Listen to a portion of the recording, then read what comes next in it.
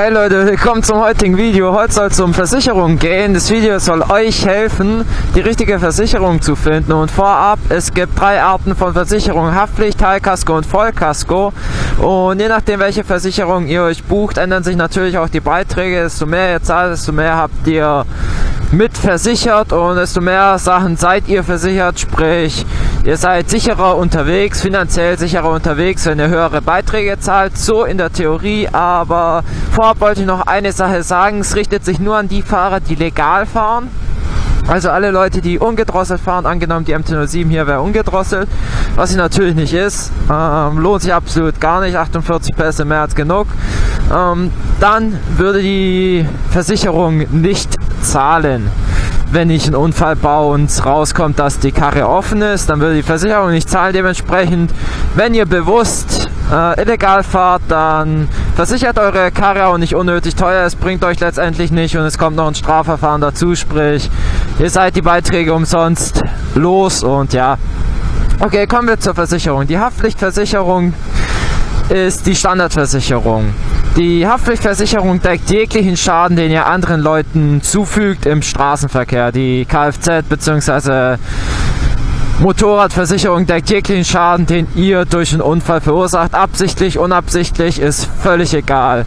Ähm, was die Versicherung machen kann, angenommen, ihr handelt fahrlässig, sei es Trunkenheit, überhöhtes Tempo oder sonst was, sie kann euch bis 5000 Euro gesetzlich in Regress nehmen, sprich, ich zentriere mit 1,0 Promille die MT-07, die hübsche MT-07 hier in Gegenverkehr. Mir passiert Gott sei Dank nichts angenommen. Ich fliege runter ins Gebüsch, äh, weich allen möglichen Bäumen im Flug aus, habe einfach mal Schweineglück, äh, so wie beim letzten Unfall. Also natürlich kein Alkohol im Spiel, aber wir nehmen einfach mal an, fahrlässig was getrunken und gefahren. Äh, kommt vermutlich ein Strafverfahren gegen mich und die Versicherung nimmt mich für den Schaden beim entstandenen Pkw in Regress bis zu 5000 Euro angenommen. Ich fahre in den Lamborghini rein, was nicht realistisch ist. Es wäre eher realistisch, in den Golf GTI oder ein Fahrzeug mit einem Wert von 30.000 reinzufahren. Angenommen, der Schaden liegt bei 15.000 Euro. Ich muss 5.000 Euro zahlen, weil ich fahrlässig gehandelt habe. Und ja, Macht Sinn, egal wie hoch der Schaden ist, ich zahle 5000. Es gibt Deckungspauschalen, je nach Versicherung unterscheidet sich das. Sprich, solltet ihr bei einer gewissen äh, schlechten Versicherung, die nur bis eine Million deckt, wovon ich noch nichts gehört habe, ähm, sein und ihr fahrt in irgendeinen alten Jaguar Oldtimer, der 2, 3 Millionen wert ist und ihr verursacht einen Totalschaden, habt ihr echt ein Problem. Deswegen schaut bei der Versicherung auf eine Höchstdeckung von, ich würde sagen, mindestens 10 Millionen. Ähm, höher ist besser. Ich glaube 100 Millionen sind Standard, kommt natürlich auf die Versicherung an.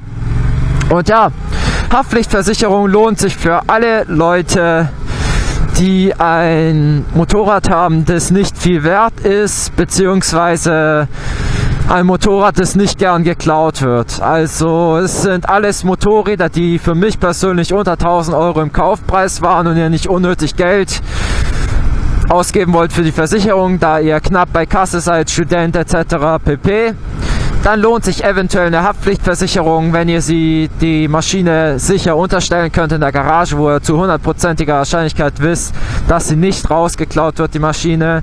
Und ja, die Teilkaskoversicherung wiederum versichert euch noch ein bisschen mehr als die Haftpflichtversicherung. Ihr seid trotzdem nicht gegen allein verschuldete Unfälle versichert, also jeglichen Schaden, den ihr eurem Motorrad zuführt, muss müsst ihr aus eurer eigenen Tasche zahlen. Dafür habt ihr ein paar andere schöne Details dabei. Meistens ist eine Wildversicherung dabei, sprich, wenn ich ein Reh überfahre oder sonst wie, zahlt die Versicherung. Glaubt nichts passiert nicht, besonders als Motorradfahrer passiert es gern, wenn ihr im Wald unterwegs seid äh, zur Dämmerung im Sommer oder zum Morgengrauen und da hüpft das Reh kurz raus und dann teilt ihr es in zwei, ihr stürzt und verletzt euch womöglich. Dann kommt die Versicherung auch, ja, das ist sehr, sehr wichtig für eure Schutzkleidung auf. Sprich, ihr habt einen teuren Drift Carbon Helm wie ich 350 Euro hin.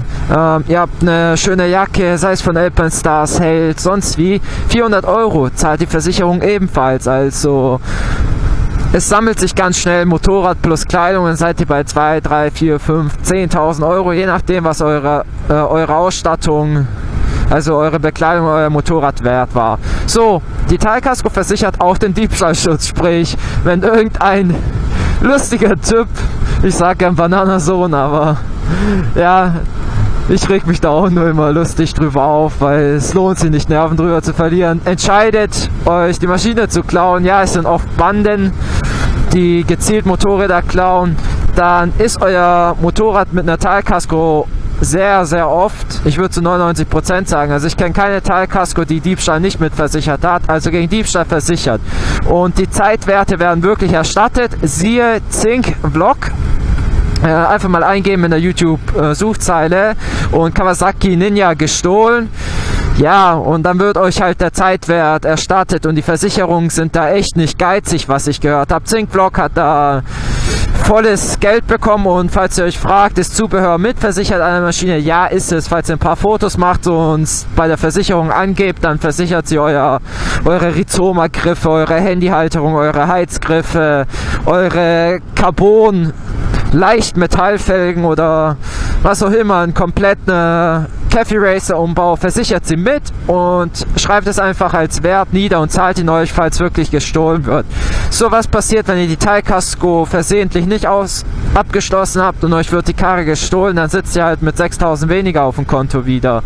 Und es ist sehr, sehr ärgerlich, weil die Wiederfindrate irgendwo ähnlich hoch wie bei Fahrrädern liegen sollte, sprich um die 5%, was ein Witz ist, vor allem bei, wenn ihr Berlin oder sonst wie in der Grenze wohnt, wie Kawakyu, dann ist die Maschine ganz schnell im Osten und dann bringt es euch halt gar nichts. Und dann könnt ihr fahnden, wie viel ihr wollt, ihr findet die Maschine nicht mehr, wird zerlegt und in Einzelteilen verkauft oder das Zündschloss wird komplett ausgewechselt.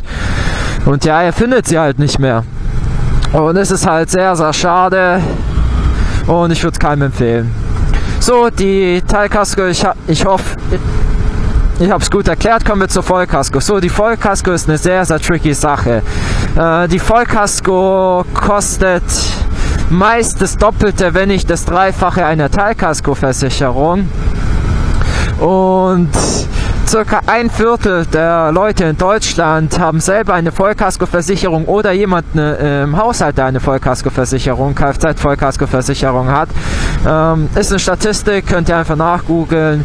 Äh, ist schön zu wissen, es bedeutet relativ wenig Leute haben eine Vollkaskoversicherung und ja, eine Vollkaskoversicherung zahlt, falls ihr stürzt. Angenommen, ihr fahrt 50 km/h ihr, es sind 50 km/h erlaubt, ihr geratet auf ein bisschen Dreck mit dem Vorderreifen, ihr stürzt, ihr ruft die Polizei an, sie schreibt einen Bericht, ihr wart nüchtern, ihr habt sonst keine Fahr Fahrtüchtigkeitseinschränkung und alles war legal, aber ihr seid halt ausgerutscht auf einem Stück Dreck oder sonst wie.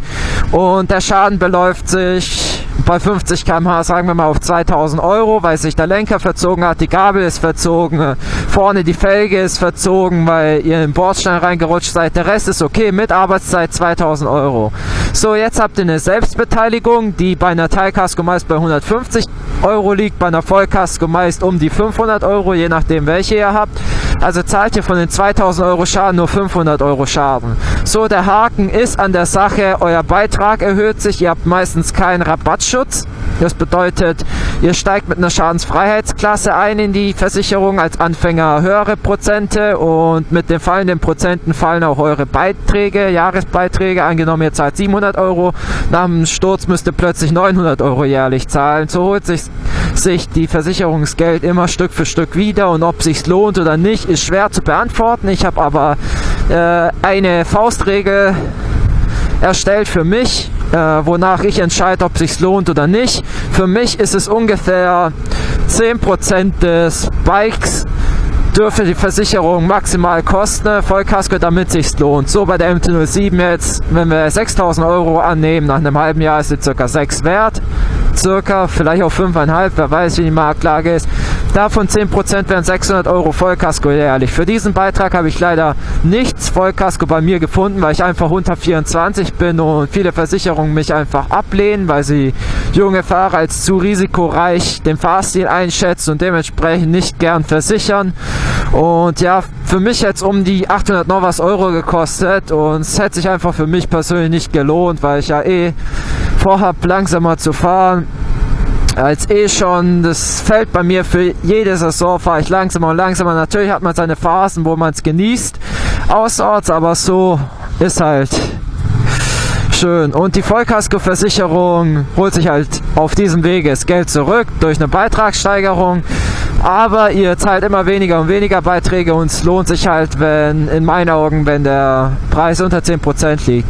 Man kann es kritisch werden, wenn ihr arg zu schnell seid. Angenommen, ihr knallt hier mit 140 oder so raus, wie es einem Fahrer hier passiert ist, zerstört eure Maschine, euch passiert Gott sei Dank nichts. Das ist das Wichtigste überhaupt. Und dann kommt erst finanzielle. Dann äh, dann fragt halt die Versicherung bei der Polizei nach. Wenn die Polizei das nachmessen lassen hat, einen Gutachterruf und er sagt, ihr war doppelt so schnell wie erlaubt, dann zahlt die Versicherung meist auch nicht, weil sie sich einfach rausredet, weil es zum fahrlässigen Handel, äh, zum fahrlässigen tendiert. Also es ist immer nicht ganz einfach mit Versicherung, aber die Versicherung zahlt, falls ihr normaler Fahrer seid und kein Raser in den meisten Fällen und da könnt ihr euch sicher sein. Und ja, generell lohnt sich eine Vollkasko. Ich finde eine Teilkasko ist für jedes Neufahrzeug ein Minimum. Zwecks Diebstahlschutz und der Rest dürfte für euch entscheiden. Und noch ein paar Tipps von mir zum Schluss und ein paar Daten, was ich gezahlt habe, CBR 125R, Teilkasko unter 18 Jahren äh, 400 Euro in Stuttgart jetzt. Äh, es unterscheidet sich sehr stark vom Wohnort. In Hamburg zahlt er zum Beispiel das Doppelte. Ähm, 400 Euro pro Jahr auf mich versichert. Ähm, mit 18, selbes Motorrad, selbe Versicherung, 120 Euro pro Jahr oder 130, killt mich da nicht. Sprich, unter 18 zahlt ihr circa dreimal so viel wie mit 18 für ein Leichtkraftrad. Und für diese Maschine zahle ich knapp 200 Euro Teilkasko. Ich glaube 180 sind es ziemlich genau. Äh, pro Jahr, weil ich schon in den Prozenten gefallen bin, weil ich äh, nie Geld von meiner Versicherung genommen habe, sondern alles aus eigener Tasche gezahlt habe. Und ja, ähm, das sind ungefähr die Beiträge. In Hamburg zahlte für dieselbe Maschine um die 400 Euro Teilkasko. Berlin. Und ja. Äh, ich hoffe, euch hat es gefallen. Lasst mich bitte mit einem Daumen nach oben wissen. Es freut mich auf jeden Fall, motiviert mich und haut rein. Bis zum nächsten Mal. Ciao, Leute.